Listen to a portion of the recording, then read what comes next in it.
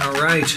Welcome back, students. Today I'm going to start a new series of videos, and I'm not promising a lot of these videos because I'm going to be playing the oboe. All right.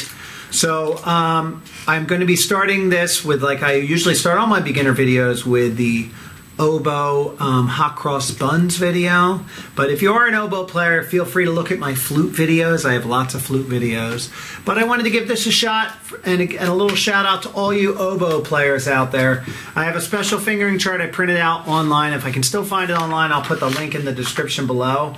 But this helps me out. It helps the oboe students out. And if you don't know anything about oboe, oboe has what are called the half hole fingering. So I'm going to pull this up to the screen and you can see this little key up here. Most of the time you're going to cover that hole, but sometimes you're only going to cover the bottom, which is called the half hole, okay? So when we play the D today, we're going to be using the half hole, but then when we play the C and the B flat, we're going to be using covering that hole, okay?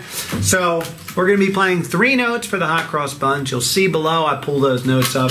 We're going to be starting with the D. The D is all six fingers, one, two, three, four, five, six, except that the top one is the half hole. So we have all of those down.